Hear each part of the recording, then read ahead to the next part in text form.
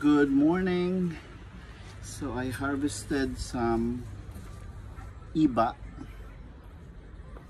So this is what we call iba.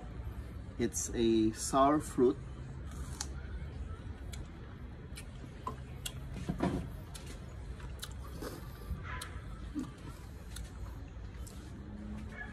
Very sour.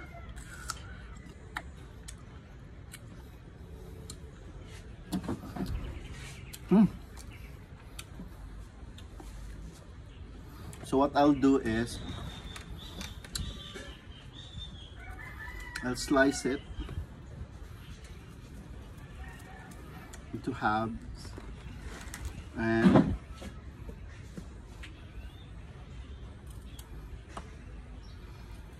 put it here and dry it under the sun. So we'll dry this under the sun and we can freeze this uh, for future use. So we have a lot of um, iba I harvested this morning. So a while ago I cooked uh, milkfish with iba. It's a sour soup. So for lunch I'm preparing the extra iba to dry it for future use so we don't want to waste any extra supplies. So this is farm life bukid life at Elad's Elad loves. So for the big ones I'll cut it into half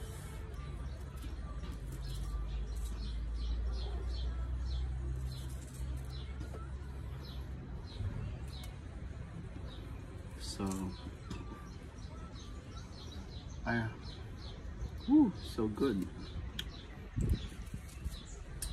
Want to eat some but hmm, it's good with salt. You dip this in salt and the sourness. It's so yummy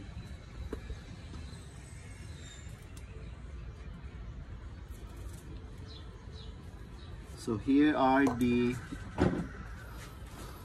iba that I sliced and then I'll sun dry this one. So for future use,